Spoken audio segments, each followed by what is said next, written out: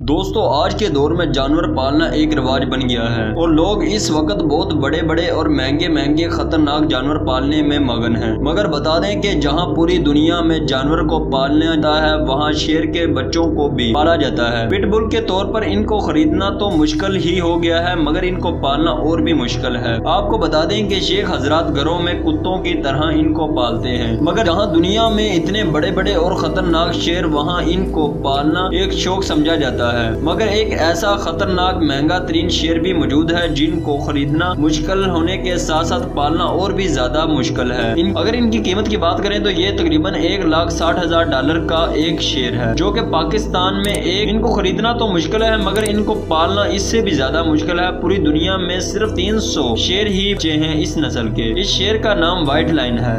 दोस्तों अगर आपने हमारे चैनल मोसेस टीवी को सब्सक्राइब नहीं किया तो पहले इसको सब्सक्राइब करें और बेल आइकन की घंटी दबाना मत